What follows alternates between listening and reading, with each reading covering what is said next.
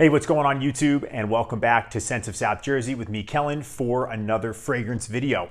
So I got a quick little list for you guys today, and what I wanted to talk about are four alternatives to some vintage classic discontinued fragrances. So the discontinued fragrances that I picked for this video are ones that I've talked about before on the channel a lot, and you'll probably recognize them from past videos, and not only on my channel, but on, on, on several other people's. So uh, what I wanted to bring you are some alternative choices that you can still get or that are easier to find and obviously less expensive than these discontinued classic men's fragrances. So before we jump into the list, if it's your first time here and first time watching the channel and you enjoy the type of content that I create, make sure to subscribe to the page. It really helps my channel out. We are on our way to 10,000.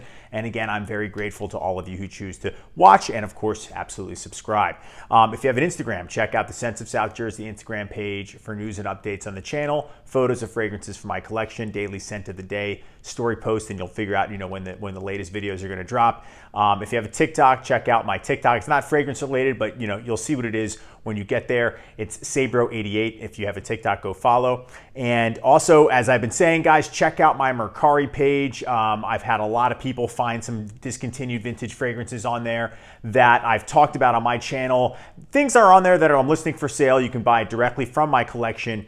Uh, I'm just not wearing this stuff anymore, and I'd rather somebody else enjoy it too. Um, these allow me to get new fragrances in as I trade and or sell things. Um, and that allows me to, you know, obviously create new videos too. So before we waste any more time, let's get ready to check out these four alternatives to classic discontinued men's fragrances.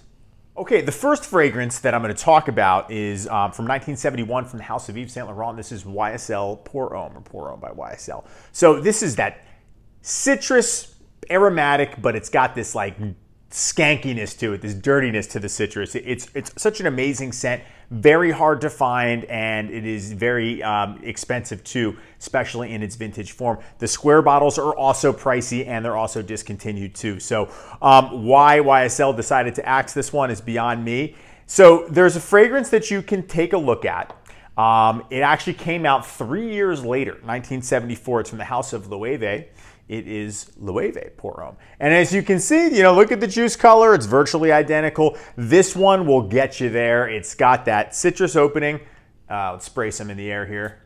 And what I noticed the most about it is it's got that bitterness and it's got that dirtiness to it. And it's sort of similar, a little bit more of a leathery tinge hit to this one than, than in YSL Homme, but this definitely has that dirty citrus and it is an awesome alternative. And you can get this five ounce bottle. I got this for like 55 bucks. Granted, that was last year. Maybe it's a little bit more, but it's significantly less money than the YSL Pour Homme, and it's still available. And it's going to get you to, I would imagine, a you know, realm of 90% of, of what it smells like. And it's just a high quality fragrance. The house in general is really good. Esencia, another one I've tried, amazing. That's like a great alternative to like a, think about if Vintage Polo had a sport scent that isn't the blue Polo sport, you know. But again, Loewe Pour Homme, excellent alternative to YSL's Pour Homme. Okay, the next discontinued fragrance is from the house of Gucci. It's the 1988 Ultimate Aromatic Fougere, Gucci Nobile. So this is, I think, the king of aromatic fougères. There's nothing more classy, high-end smelling, just so clean, so perfect. Like at a, just to think about the fanciest barbershop you've ever been to in your life. This is it. It's amazing. I have a lot of bottles of this stuff, but it is extremely expensive. I think I started buying mine on the tail end of when the prices just started going up, up, up, and up. So I and a couple of them I just got lucky. Some people accepted offers and, and just were looking to offload them.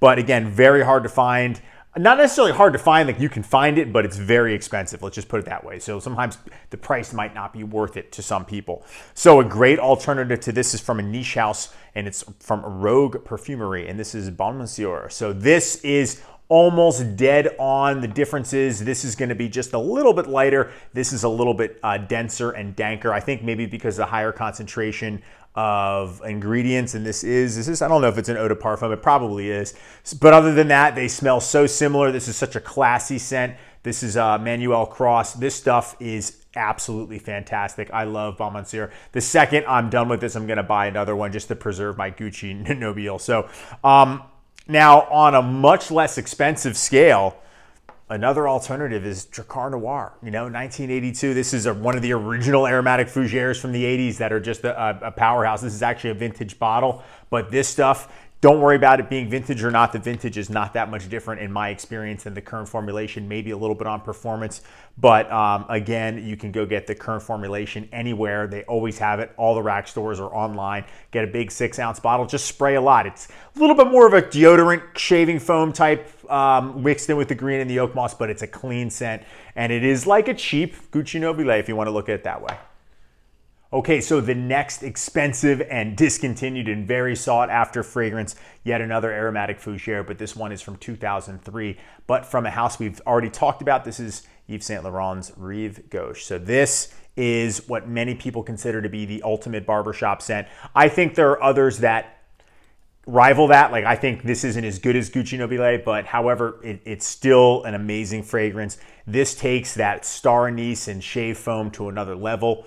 Um, it's extremely smooth, and this is the vintage in the tin can. They came out with a square bottle one too, much like YSL Homme, but everybody talks about this one. The square bottle ones are good. The scent is the same. However, the performance on this one is significantly better. It really is special. It's so light too. Like I remember when I first got this, I got um, two of these in a gift set, um, two separate gift sets, uh, and one I sold and this one I have too. I've, I haven't even touched this one yet, really, because I'm using the square one.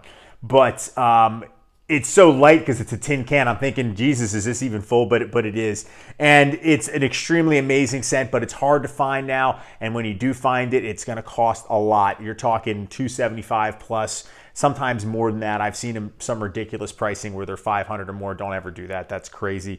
Um, but you know, I was lucky. I got it for 150 for the, for the gift set, and it came with a shower gel and everything. So um, there are a few clones to this one. Dua has one called River Fougere. Don't own that, but I hear great things. Um, the clones that I have are the things that are going to be similar to it, something that's going to get you in that realm. First, let's talk about this one. This is uh, from 2011. This is Azzaro Pour Homme L'Eau. And I could have used regular Azzaro Pour Homme because it has that anise note, but that's like a much more rugged and rough one. This one is um, like that. It's got the rougher anise, but it's a little bit rounded out because it has that yuzu, the citrus in it. It's a little bit more of a brighter citrus take on Rive Gauche.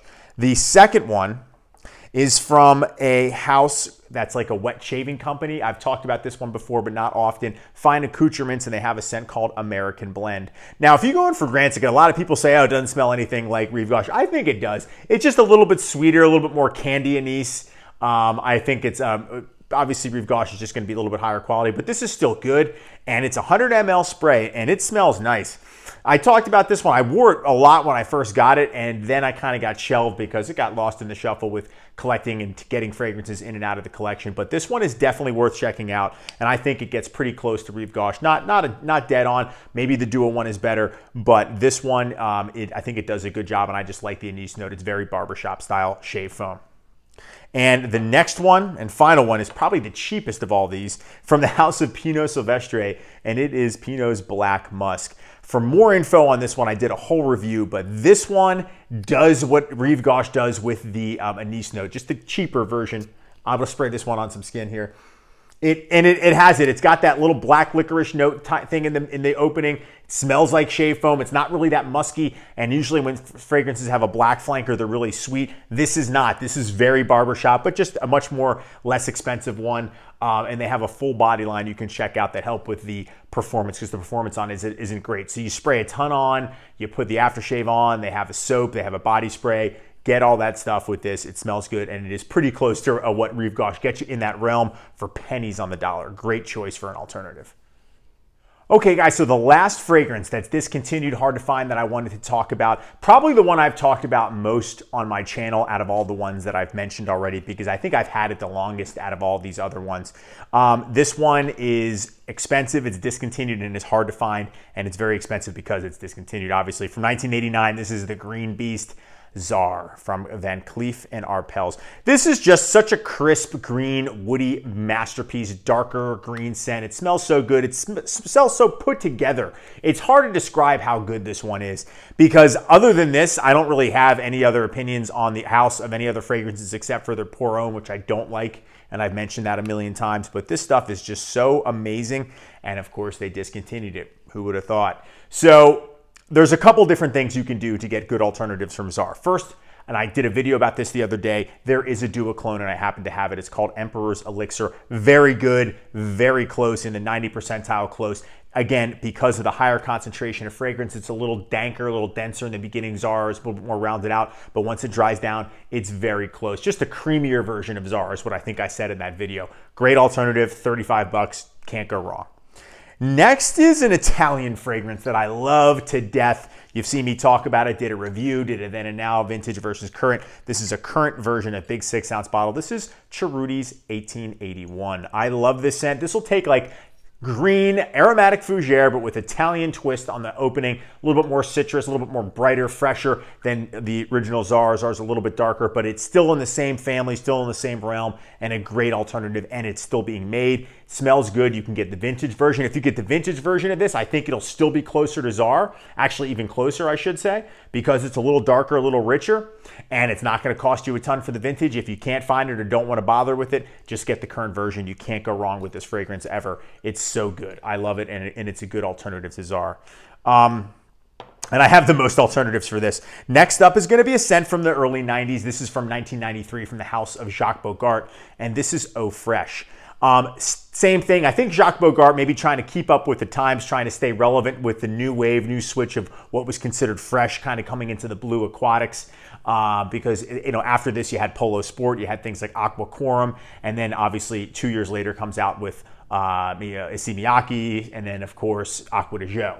But Jacques Bogart never really does things by the book. They do their own thing. And Eau Fresh is a green, bright, but piney, fresh scent and it's green it's it's lighter it's you know again a little bit lighter than Czar but still very green. Probably the closest aside from the direct clone of all of them to um, to Czar and you know this is a little bit harder to find not as hard to find as as of course regular Czar this is probably discontinued but you can still get bottles in the 50 60 dollar range but it smells so good it's so fresh it's so great. I love wearing this in the spring and the summertime because it's green, it's super masculine, it's old school, but it smells so nice and it's a great alternative to Czar. Um, and lastly, this is, um, I believe, an 80 cent too, Jaguar for Men. So Jaguar for Men is a green, bright green scent, um, similar to Czar. Um, it's just a little bit more synthetic smelling, and it's got a note of vanilla, which I think I didn't really pick up until after the fact, but it still smells nice. Think about just like a synthetic, cheaper Czar. That's where Jaguar comes into play. Still green, still good. Good performance for what it is, really cheap. You can get a lot of it for cheap. You can spray a ton on. Smells nice, smells masculine. Just a, you know, I think like a synthetic version. So think about like Eternity, whatever Eternity smells like, whatever the higher end Eternity is, think of Eternity because that's a great scent, timeless scent, smells awesome. I talked about that in a um, what's good fragrances in the office setting. And yeah, that's a little synthetic smelling, but it still smells nice. And that's how I feel about Jaguar. I think about a synthetic greener um, Czar by Van Cleef Arpels, but still really cheap and easy to get, still being made.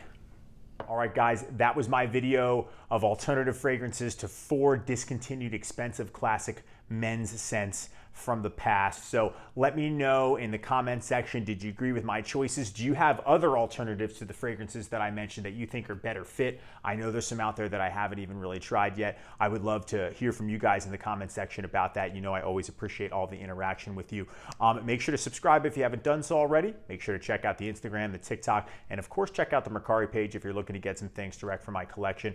I wanted to thank you all for hanging out with me today and watching this video, and I will see you in the next one. Take care.